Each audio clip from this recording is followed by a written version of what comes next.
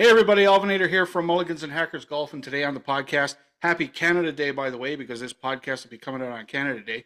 We have Clay Crier from One Stab Golf, club fitter, builder, and works at a golf course, and we'll talk about that later. Um, how you doing, pal? I'm doing good. Thanks for having me on, man. Hey man, I appreciate your time. It's it's uh, it's great to chat with you because you're just probably three hours up the road from us here in uh, to up towards Calgary, and um, mm. you know, uh, it's a local podcast this time, and it's pretty cool.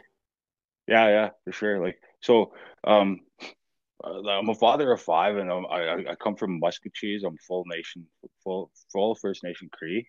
Um, got into like the club building side just over the winter. Like I was thinking about getting into uh, one of the big big big brand name uh, stores, right? So I was like thinking about going that route. Uh, so I just went about it solo. So this is where I'm at right now. Um, just building out of my out of the basement, small setup. It's basic, but it, it has everything that a guy needs to build what what's yeah, out there. I mean, right? doing what you're doing there in that type of setup, Clay, uh, people appreciate the pers the, the personalization that you can do. Um, mm-hmm outside of we'll say the big box stores. Um, you know, yeah, yeah. You can you you're you can get personal with your with your uh, fitter, you know, and yeah. so you know I, I will get we'll get into um, how you got into all this in, in a little bit here, but um, I was going to ask you like when you're fitting someone, someone comes to you and says, Clay, like let's let's work together here and, and let's get my my my uh, my setup the way I want it. Yeah. Are you in are you a numbers guy or are you a let's look at what you're doing type guy? It, it I just go off of like the person, right? So it you could tell when when somebody's into the numbers or the like the whole nerd part of the golf thing, or if they're just all on feel. I mean, I'm not gonna bore anybody with like the whole numbers and tell them, oh, this is where you're at, this is where you should be at. Like that just gets crazy, and then you're out on a golf course and you you can't see that on a course, so it doesn't really matter uh, to a point so like I just try work with whoever comes up. Um, it's just like if they're all about feel, like let's just go off of that. If they're about the numbers, let's go off of the numbers. So, so I'm not so going to force. Do you do do you do like swing sessions in in your basement, or do you just go out and play around with a guy? Like let's go do 18. Let me let me see what you're doing with type of stuff. Oh, so like like if they want to see their numbers, like I, I it's either we go to the Sims or else like I just uh, have a swing monitor that I set up wherever I could bring come bring it out to their place, right? And then you just get a few basic numbers. Uh, so if they're looking into wedges, uh, irons, or a shaft for their driver, so it all it all just depends on what they're getting into. Um, most people that come up, it's just like I'm not gonna force a whole bag, a full bag fitting. Like I'm just like, what's your favorite club? Let's work on that. I'm not gonna uh, price gouge on anything, right? So if you have um, if you have a set of irons that's your favorite favorite clubs, like let's work on those. We don't have to put you into a brand new set of anything, right? Uh, yeah, if you have, you know, people might be comfortable with the with the clubs that they have, and they just need what they have tweaked. Maybe oh yeah, a little bit to how again their swing and how they're set up, right? So yeah, everybody's swing is different. So like for wedges, um, I'm I'm big on like the gap in the wedges, uh, because like most most sets have um jacked up lofts so when you get into the wedges, a lot of guys go into the 52, 56 setup, right? And that's just like you have such a big gap from your 56 to your pitching wedge if you don't have a gap wedge in there. Right. And a lot of a lot of guys are like, oh, I could hit my pitching wedge uh, just as far or just as less, and they're like, are you sure? It's just like it's a it, it's a big ego thing too, right? Um, TV golf. A lot of guys get encouraged by that, watching that, and they're like their favorite player plays this setup.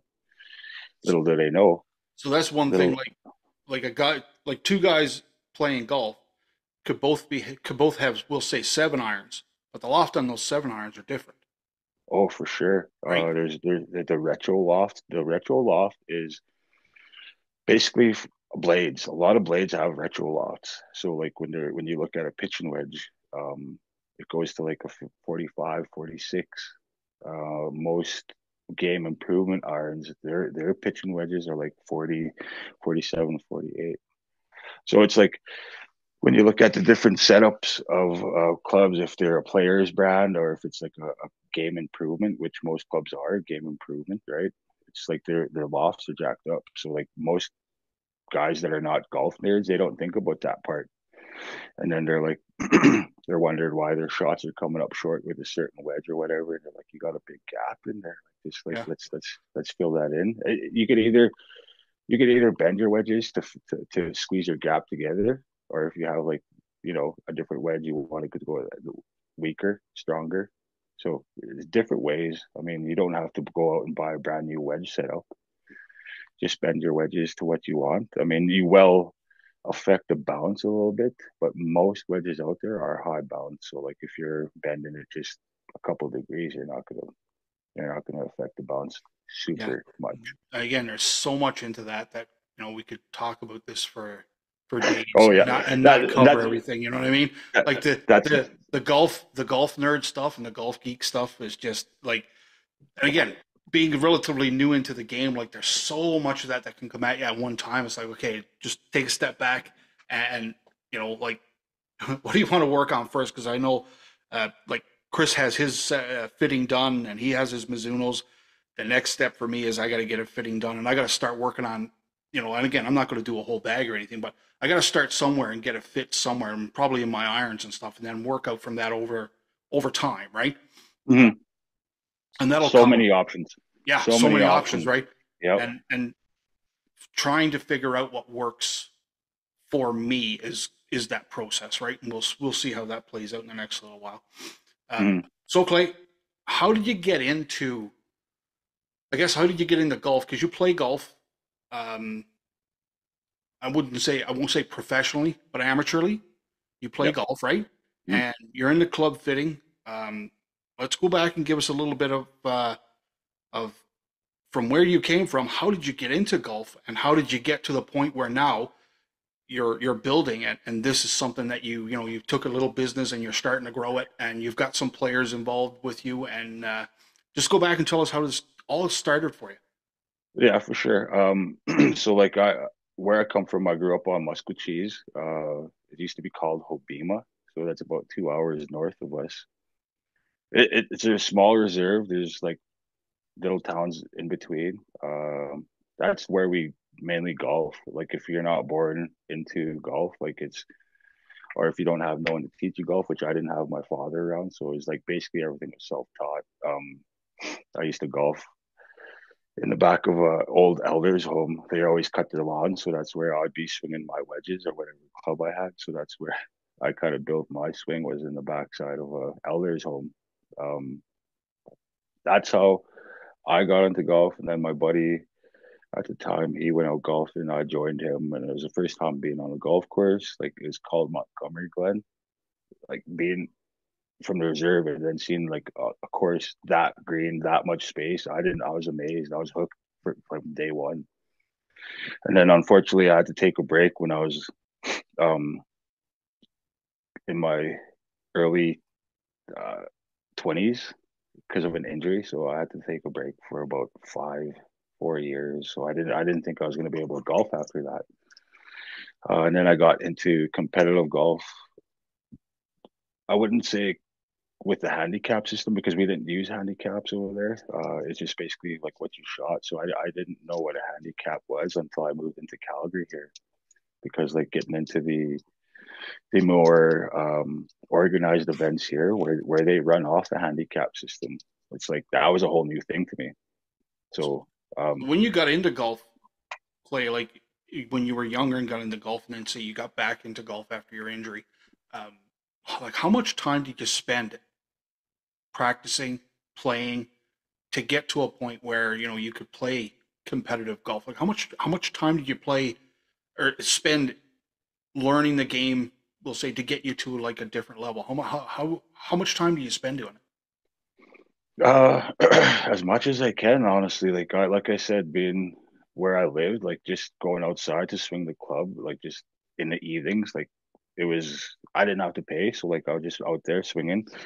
I honestly it's hard to like say how I got into it fully and then how I got into competitive golf is basically just playing with buddies that were a lot better than me. Like I, I still remember the first time I shot in the seventies. Like I was playing with three a group of three guys that were always shooting like the lights out, beating beating the shit out of me on a golf course, basically. So I learned then um, that I could shoot as good as them. And that's where I was like, okay. So I started entering tournaments. Um, and then after that, like I said, when I moved to Calgary, uh, after I learned the handicap system, um, that's where I kind of took on the competitive golf side, where I was learning how to enter tournaments on my own, learning basically how to play by the handicap system. It's like you, you count everything, right? Which is the way a golf a golf score is supposed to be. It's it's really hard to say how I got into the competitive side. It's it's it's it's basically if you don't go out looking for the tournaments, uh, if you don't have the, the courage to jump into a tournament, right? Because it could, it does cost money. Golf's expensive. It's um just something. It's a passion, right? I fell in love with golf. It's just something I don't think I'll ever ever give up. So do you still play like competitive golf now? Yeah, yeah, for sure. As much as I can. Like like if if I if there's a tournament local or if there's a qualifier local, uh, depends on the game too, right? If your game's not there, like I'm not gonna go and try force it. So this season, my my my golf game's actually there. It's I'm swinging decent, scoring decent. So I started getting into a few more of the qualifiers this season. Um, I made it into the mid amateur this this June 12th, I think it was, which was out at Serenity where I work. So I work out on a turf crew there, right? So that was kind of that was another thing in itself, right? I had to ask for permission for a day off, and then my boss was like, "Well, we're setting up the course for this and that," and I was like, "Well, I'm going to try playing it." He's like, "What?" So yeah, so that was awesome. Um, I mean, like that was for myself. It was like because like I think out of all of us on the golf like golf turf there, uh, the turf crew, none of them, as far as I know, none of them play in competitive tournaments, so they don't know that grind, right? Um, and then I tried to explain to them how how tough the course was playing that day. Like uh, everybody that works there, they put in hard work to take to get the course set up to that. It was it was tough that day. Like the wind was on full blast all day. Uh, I was playing three clubs, three clubs up from what I normally shoot. Like I was shooting a five iron from 150 like about four times. Like to swing that and just be like to trust your swing going into like 150 out. It's just like I'm gonna swing this, and it could possibly just airmail the green. But um, yeah, like I said, getting into competitive golf, like it just it was a passion where I was just like a lot of guys don't have that where they're like go out looking for that because they get discouraged or they like it, I don't it, it's game. a different animal, pal. I'll tell you. And I mean, again, still being relatively new in the game, we played our first couple of Alberta Golf Tour events here, um, mm-hmm. and yeah, like it's a total different mind frame when you're like you have to be on for every shot because again, you don't want to fucking embarrass yourself, right? You're gonna go yeah. play in you're gonna go to play in a tournament, and you know all the shots are counted. Um, you don't want to look like, well, the hell are you doing here, right? Uh, no, and, and, right, and, and, so the first tournament I played, and I actually played really well and, and finished second in the C flight, and that I don't think um, no matter no matter what I do now, like in tournaments down the road, I can always go back to that marker and go, dude, you placed really well in your first tournament. Just get back to where your mindset was there, right? But I'll tell you, it took a lot out of me that day because the, the round I played the next day, uh, I picked the ball up and put it in my pocket a lot that day. That's for sure. no, it happens that way, man. Like like competitive golf, and you have to count everything.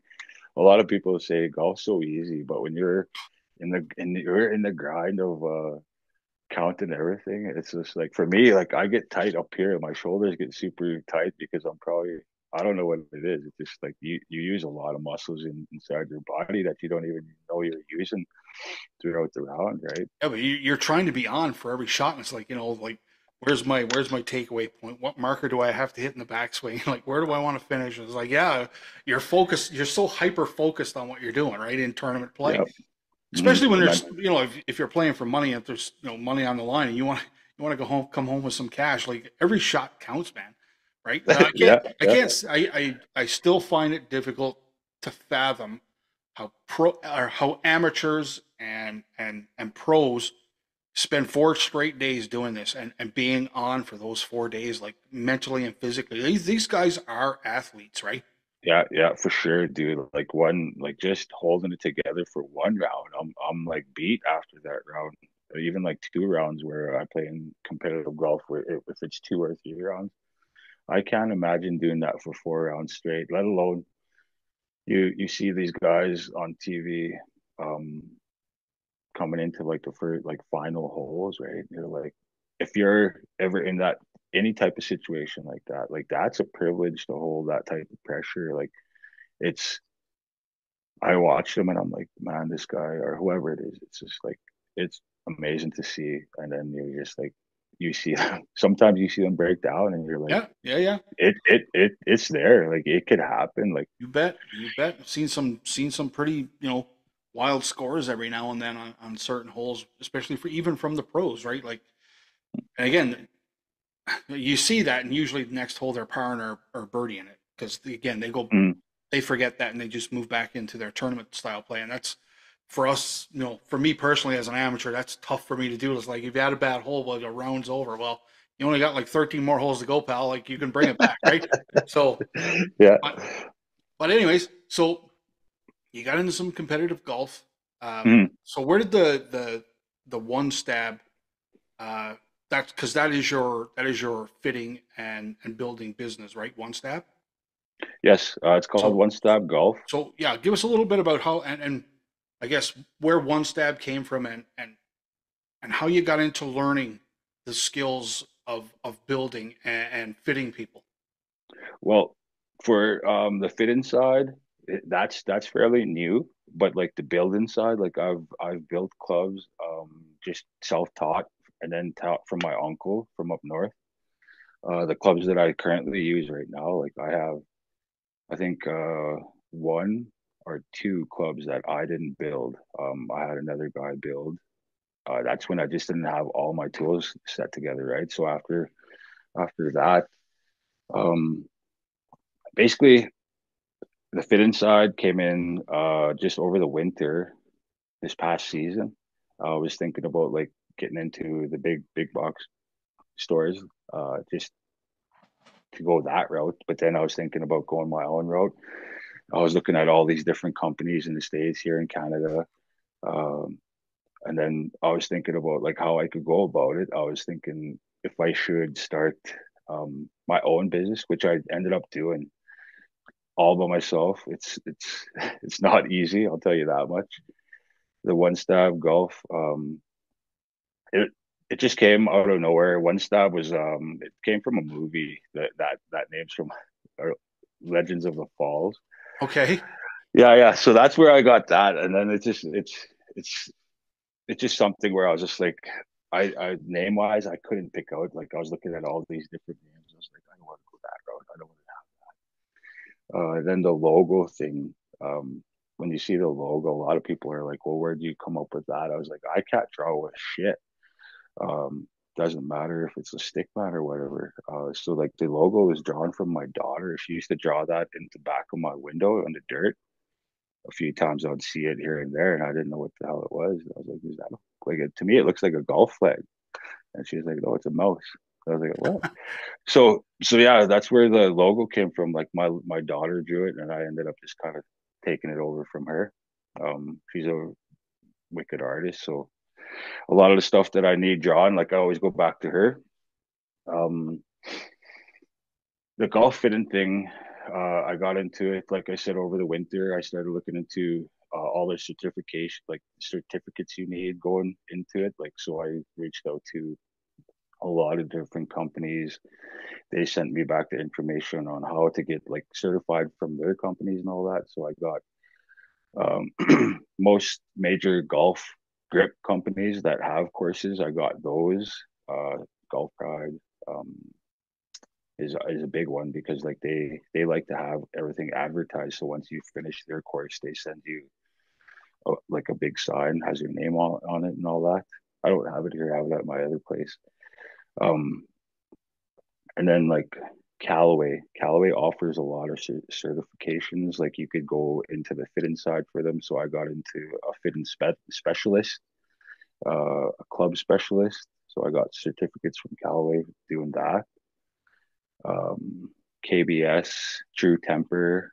Um, there's a whole like I got I'd say like twelve or so.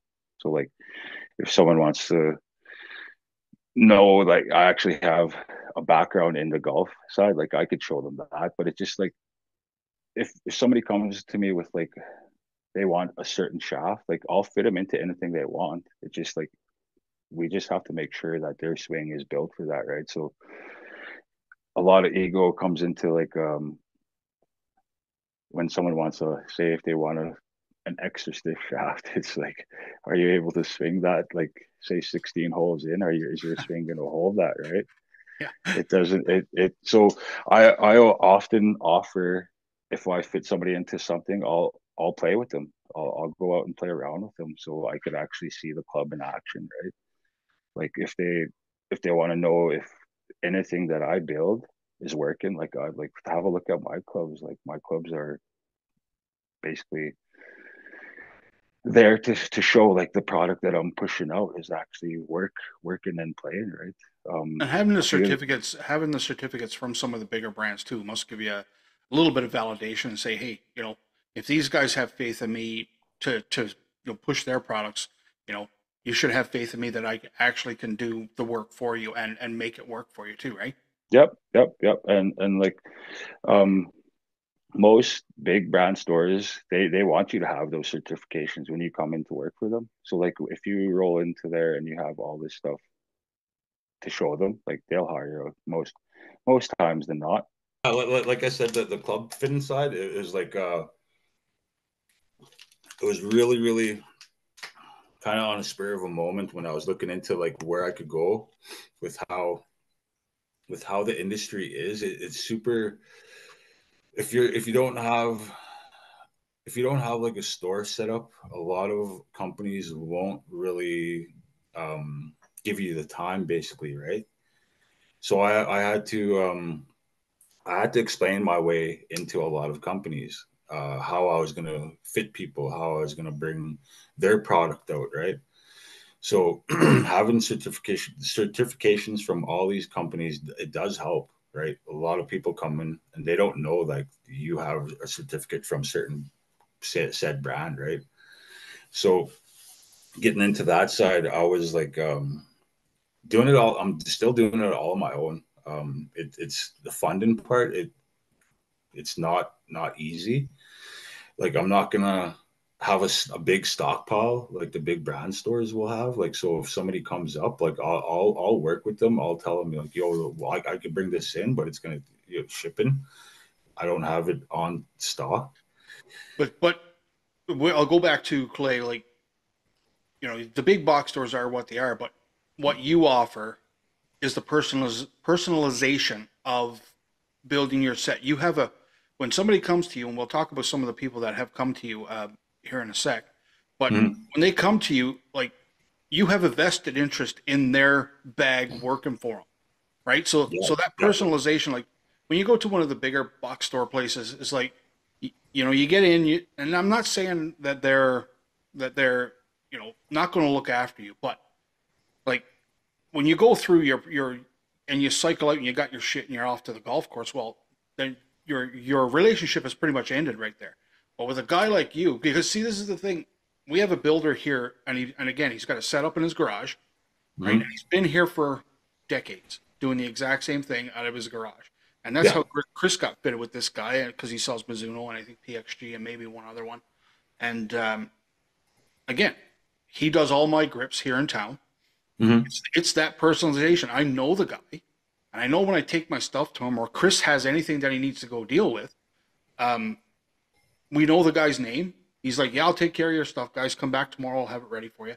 Right? Yeah. That personalization. That's what you offer outside of the big box store. And, and some people who are getting into golf and maybe maybe not taking golf as seriously, but still want to get that fitting because it is important.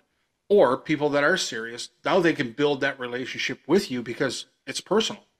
Yeah, yeah. So like like exactly that. Like so once once you leave the big big brand stores and then you're out on a course and say something's not working, like say you bought like a, a shaft uh, and it's not working.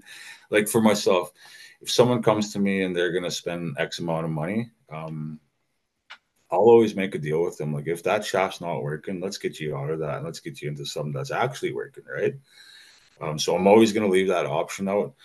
If someone's getting getting into a brand new shaft or our shafts for their irons, our wedges, anything like that, right? So like the customization part is what I'm really all about, and then making sure it works after, and they're happy with the product. They're you know they're going to be enjoying the golf game a lot better.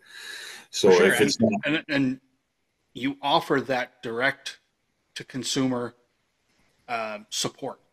Yeah, somebody's out on a course, and I mean, I had this happen to me last year where um, my gap wedge, I hit a gap wedge, and I actually snapped the shaft inside of the grip. It must have been a weak point in the shaft, and it just literally just snapped in my hands. And we, we talk about this this personalization. It's like when I got off the course, I threw it in the bag. Uh, I had to play like 11 holes without it, but again, only a couple of shots had affected.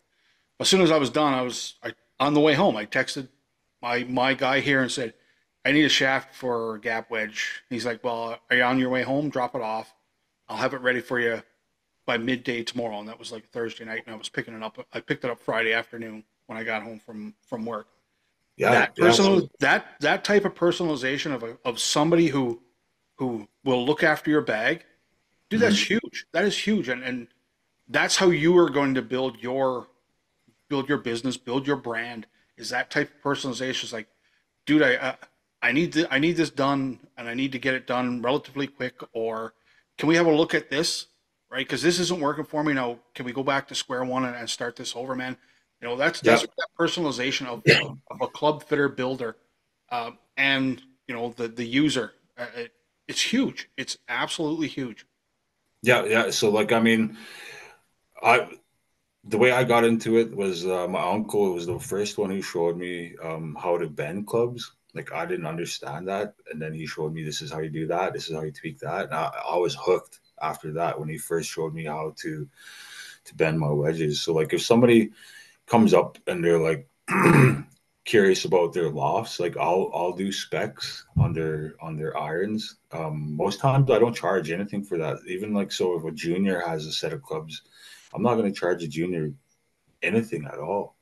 If they want something done on their their clubs or anything, like I'm juniors, I'm gonna I'm gonna set them up for free. I mean, if they have if they have the equipment, like I'm gonna help them up as much as I can. Um, going back to like uh the personalize personality personal personalization part it's i wish i had this access to somebody uh, when i was getting into like the golf because like it took me a long time to understand the golf nerd side and then understanding um, how to incorporate into my my game. It's it's different where when you go to uh, a big brand store and you're like can i get this done? A lot of times they're like well why? And like they they do try accommodate what you're getting going after, right?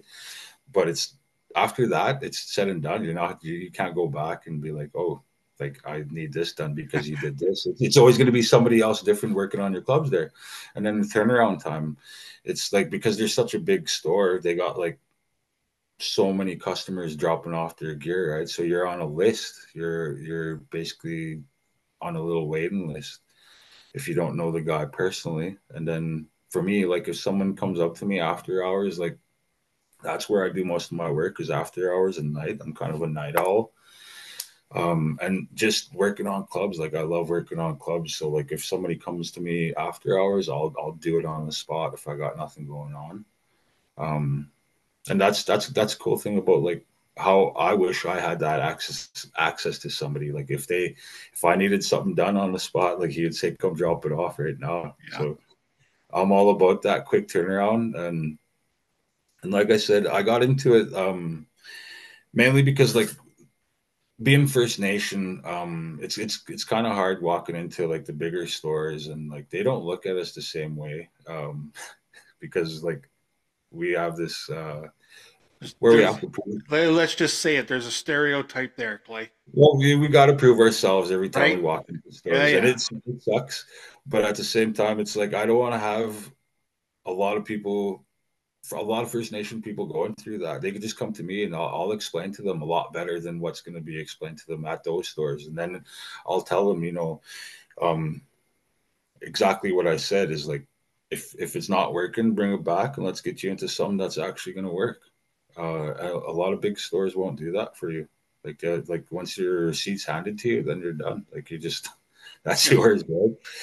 Um, and then like I've had a few buddies come up to me and they're like asking me questions, and they're like, "Well, I asked, where did you get told this?" And they're like, "This guy at the store." And I'm like, like when like I understand they're selling product, but at the same time, like don't lie about something that where the customer is going to be able to go find out, and it just it just looks bad on them, right? So, I I've I try to tell a lot of customers the way it is. I'm like I'm not going to lie to them if they're like swinging something and they want something else. I'll be like, well, let's try to get you into this because it's going to work a lot better.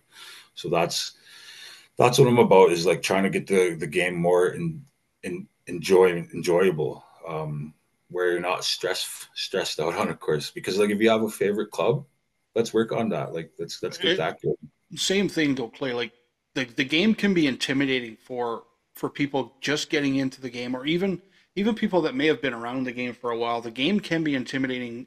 You know, when you're going to the course and you're seeing tons of people playing, and and just to be able to go and you know chat with somebody like you, say, you know, privately or you know one on one, just to be able to talk about what that person wants that he might not, him or her might not be able to not want to go to like a clubhouse, a golf clubhouse, or a, or a big brand store and talk about. Like they they can build that relationship with you, you know, and and maybe not feel as intimidated, like because Mhm. maybe they don't know anything about you know lofts or lies or anything like that, and and you can you can guide them through that. And again, back to the personalization of build of some helping somebody build their set.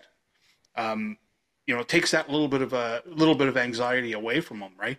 yep yep and and like being able to go actually play with them too like given that option like um I don't think there's much club fitters out there that will actually want to play with their customers, right? I'm not. I'm not saying it's a, it's a it's a freaking good selling point, pal.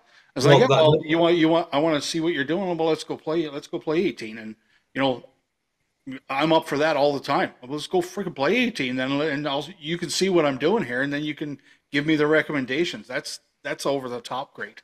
Yeah, yeah. So like I I've a lot of a lot of players that I've helped out that um are basically friends of past, uh friends that I've learned like just are good golfers and then like just seeing them play I wouldn't say the wrong equipment, but just things that I think could be a lot better. Um Again, the better, the better, the more level, the higher level you go in the game, I guess, the more tight you need your your gear to be, right? Yeah, yeah, for sure. Um, most, I think most stock clubs that come off the rack, if you're if you're in competitive golf, um, it's it's hard to to say, oh, this club's going to work for you straight off the rack. It, it's like if you're because everybody's swing is different, right? If you're swinging and like mm, say like a extra stiff, but you need to get into a stiff, and and it's it's it's the ego part where like, oh, I could swing this. It's just like, like I said, sixteen holes is your sixteen holes in. Is your swing going to be the same? Most most times it's not, right? Because the like it, it's just not there. Um, so trying to explain that to like a lot of customers that come in or or ask any type of questions um ego plays a big part especially in men um then talking them out, out of certain clubs it- like i said i'm not going to push any anybody into a full bag fit in uh, i'm not looking to get rich off of this It's it's it's just for for myself. I want a lot of more golfers to to enjoy the game, and then build on their clubs that they have. Like I'm not going to try to push them into brand new clubs at all. Um, shafts is different because like say if they want a new shaft, like most times I'm not going to like reuse an old shaft. Uh, graphite when you when you're pulling graphite shafts, like for myself, I I don't really trust if someone goes and pulls it because I don't know how how how high they put the heat on that shaft, right? So I'm not going to be the one be like, "Oh, your shaft's toasted." I I I fucked it up when right. the previous guy did. So I'd rather build with brand new shafts. So like, say if somebody wants to get brand new, like I'm all for it. Um, like for myself, like my this past season, um, I got brand new woods, like shafts in my woods. Um, that was a big thing for myself because I played the, the I played my setup for a long time, uh, switching out my my shafts into brand new. This season was a big thing, and I think it helped out a lot. That's the reason why, like, I got back into the competitive side of golf. It's just like my swing is there, every every swing that I have, I just confidence, right? Um, and that's like what I'm really pushing into anybody that comes in, in into looking for a brand new anything. I'll uh, I'll offer to go play with them, see where their swings at, and see what they want to get into, um, or or just get them on a sim or swing monitor. It, it really just depends on where they want to go about it. Like like I said, I'm not going to force anything at all. Um, so have you looked after anybody that we know name wise? Uh, anybody's gear um, that you're um, after? Well, I, I she, she, I don't really like name dropping a lot of a lot of people that I know. Um, she's out on social media. She's a long drive hitter. Her name's Irene Crowchild. She's see. I know. I know Irene Crowchild. I know the name because yeah, uh, I had a past guest who name dropped her as well. Yeah, she's doing. She's doing well. She's um I've played in tournaments where I've seen her swing, and she's got one of the most unique swings ever. And then just bombs it like I ain't gonna lie, she'll she'll she'll be out like out driving me every time. Uh, I've told her I've told her that too. Like I don't have the swing speed she has. Um, so when I reached out to her, was through social media. Uh, again, that's how I started. Like reaching out to anybody um, was through social media. Um, I can't remember exactly when it was like just right before golf season started, and she was talking about like how because she's a lefty, um, how she's like it, it's kind of hard for lefties to find equipment, right? So um, I reached out there, and then I got her into uh, a House of Ford shaft because that's what she was re- like looking for with her long drive um, stuff. So she's one of the ones I helped out. Um, there's a couple other players that are really good golfers that always like play better than me, basically. Um, name wise, I, I don't have like no one that I'm working on like that a lot of people know.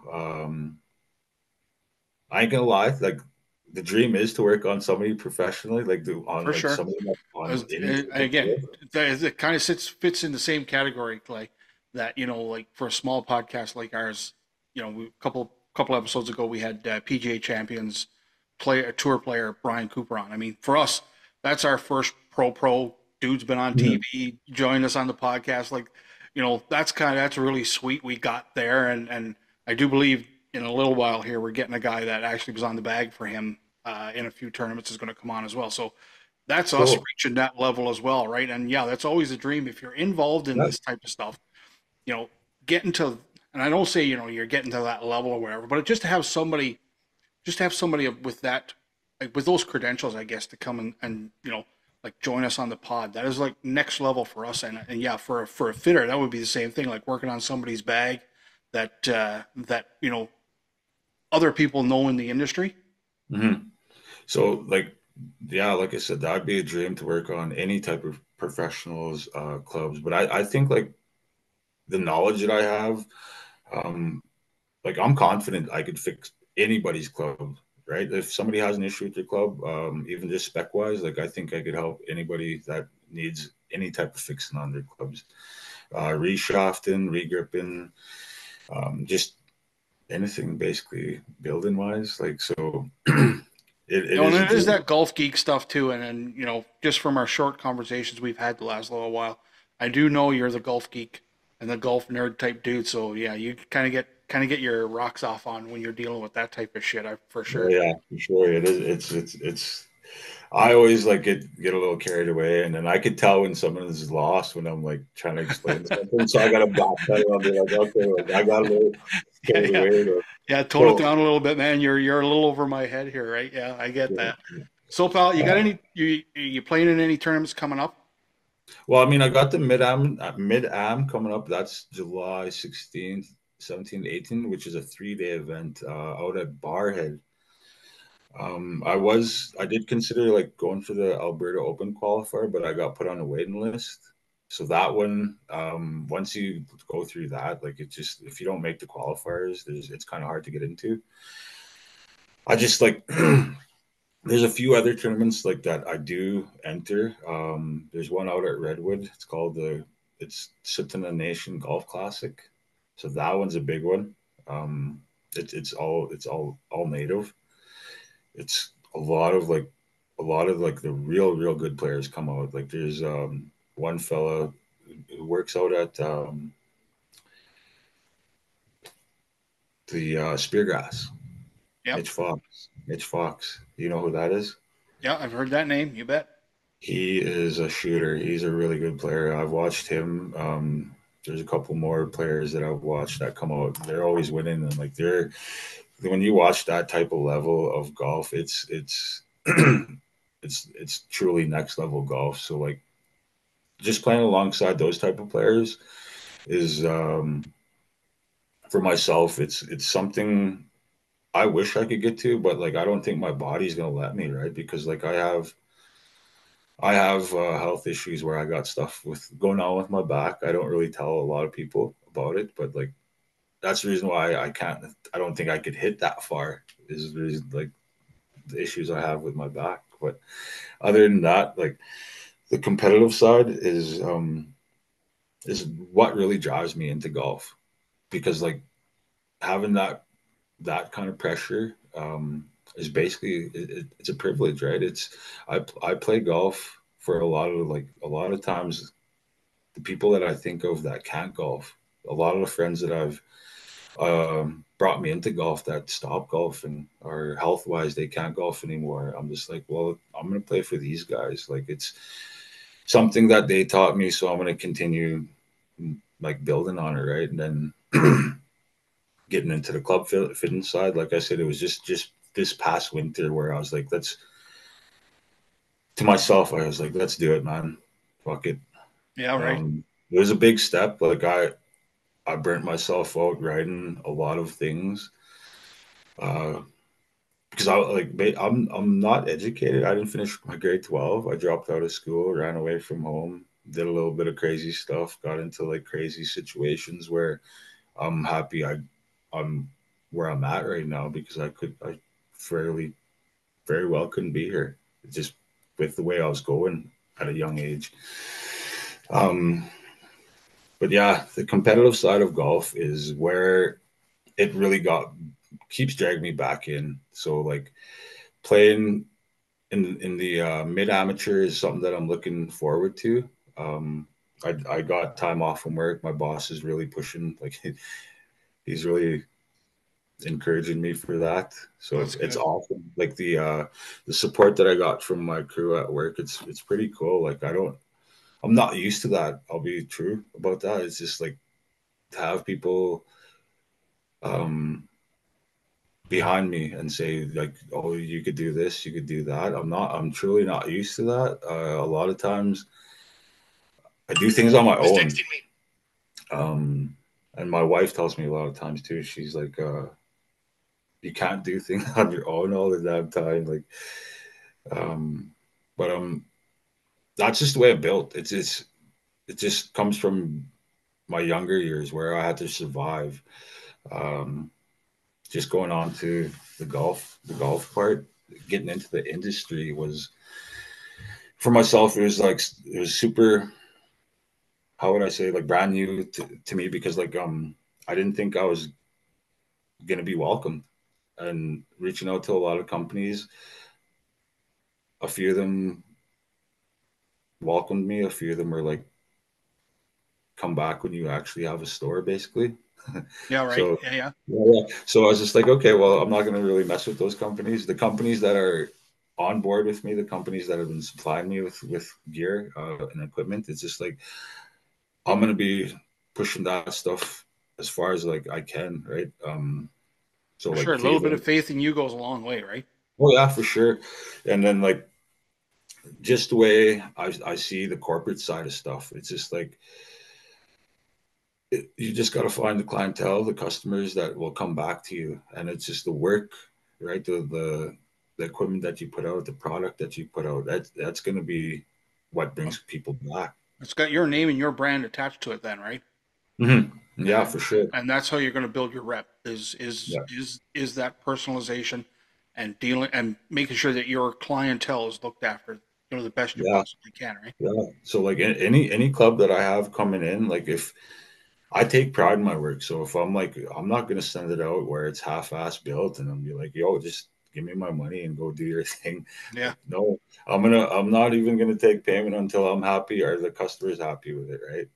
So and like I said, if they're not happy with it, bring it back and let's let's get it working to where you're happy. Well, Paul, that sounds fantastic, and I I'm going to wrap this up here now, and and I appreciate you taking the time to come and chat with me, and I think somewhere down the road, maybe not too in, the, in too far in the Mhm. distant future, we're gonna we're gonna meet in person and and and be able to grow this relationship that we have here a little more too. So I'm looking forward to that because you work at Serenity and I know my partner here that's not here. Um, he's played Serenity and he's been trying to get me there for three years now. So Yeah. somewhere, somehow, now we have another reason to go there, and we're going to try and get that in, and we're going to try to meet face to face. So I'm looking For forward. sure, man. So, so Serenity is is awesome. Like uh, that's, I think that's the third course I worked at in Calgary here. Um, it's it's a 36 hole course, and like they're they're they're building a brand new clubhouse. So I encourage anybody that's looking to en- enjoy some good golf, come out there. Like it's it's, I wouldn't say it's the toughest, but it's it it's a good track to play because you got you got the link side, which is the sun catcher, and then you got the dancing bow side, which I think is the more challenging challenging side. So anytime you're around, man, I'll get you out for sure. You and Chris. sure. And so if anybody out there is listening and is in the Calgary area and looking for a club fitter to get personal with, uh, where can they find you on Instagram? Yeah, for sure. Like that's how I've been reaching a lot of my customers is just through Instagram, word of mouth. Uh, it's called One Stab Golf. Um, I also have a website that should be popping up shortly. It's like again, I'm working on it. It's hard. Uh, it's onestabgolf.ca. And then like w- if you're in the Calgary area and you need any type of club work, like I'm willing to do anything. If you got something going on, you want something brought in, um, I'll bring it in and get So- you going. If you if you need something, reach out and talk to Clay and tell him you know Mulligans and Hackers sent you. Let's do that. Yeah, for sure, man. All right, pal. Well, take care and we'll uh, we'll hook up soon. Yeah, yeah. Thanks for having me on, Alvin. Hey, buddy, I appreciate it. We'll talk to you Mhm. later. Okay.